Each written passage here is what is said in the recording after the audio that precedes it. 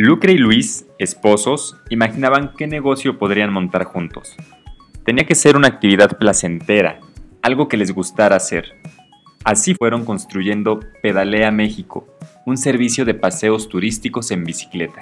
Pedalea surge em, una mañana, un domingo, un fin de semana que estábamos platicando con Luis, con mi marido, de, algún trabajo que nos gustaría hacer, eh, más que el, común que hacemos siempre. Y como siempre, yo como argentina y como mexicano salíamos a, visitar mucho la ciudad en bicicleta, se nos ocurrió que a los extranjeros les podría gustar lo mismo. Y decidimos empezar a hacer una empresita de, de tour de bicis para extranjeros, para mostrarles la ciudad, todo lo que conocíamos.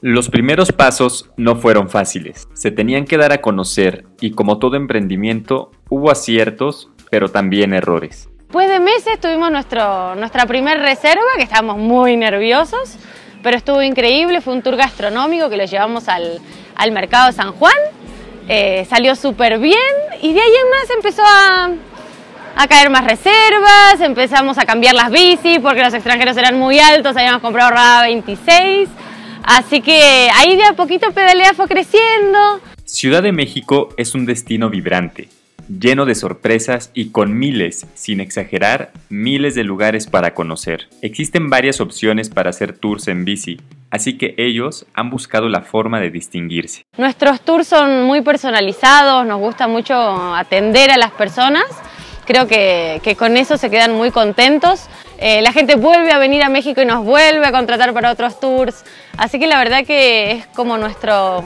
niño, nuestro bebé, tenemos cuatro tours ahora. Tenemos el, que es nuestro hit, que es el de Frida Kahlo y Coyoacán, en donde visitamos el centro de Coyoacán y, eh, el museo, que es la gente le encanta ir al museo, eh, que es una de las, cosas, beneficios que tiene, es que no hacen la fila eterna que hay en el, museo. Eh, entramos directo. Y después tenemos otro que es el paseo cultural, que es todo por reforma y se ven los principales monumentos. Eh, y ese tiene ingreso al Palacio de Gobierno con los murales de Diego Rivera, increíbles.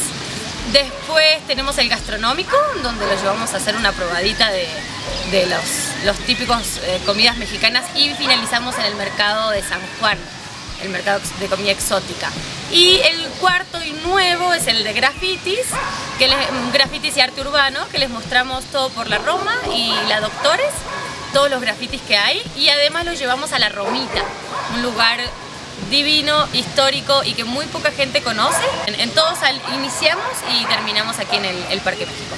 Nuestros tours incluyen todo, es parte de lo que nos gusta brindar, que es que no necesites nada. Entonces incluimos un box lunch en donde les eh, ponemos agua, Gatorade, una barrita de cereal y una fruta. Em, incluimos también siempre una entrada eh, a algún museo o con excepción del tour gastronómico en donde entramos al mercado de San Juan.